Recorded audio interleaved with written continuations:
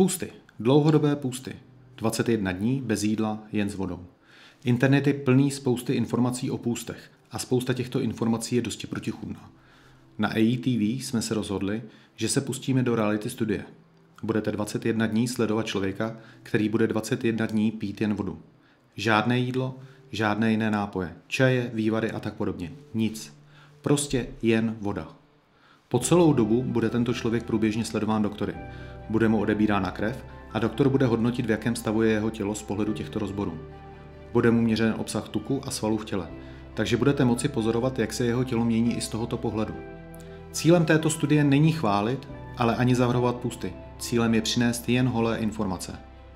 V průběhu těchto 21 dnů budete moci sledovat rozhovory s lékařem, psychologem a dalšími zajímavými osobnostmi na toto téma. Jmenuji se Libor Webster a tímto pokusným subjektem budu já sám. Jsem business analytik, spoluzakladatel a ředitel AETV.cz. Spolu se svou ženou jsme vytvořili koncept No Games, který na stejnojmených kurzech vyučujeme. A zcela ve shodě s tímto názvem chceme zbavit půl spousty her a mýtů, které o půstech kolují.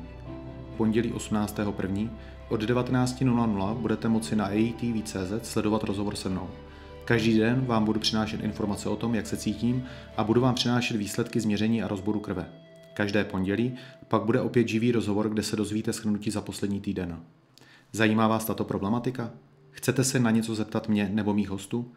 Pak pište na produkce zavináč a staňte se účastníkem této netradiční reality studie. Hezký den.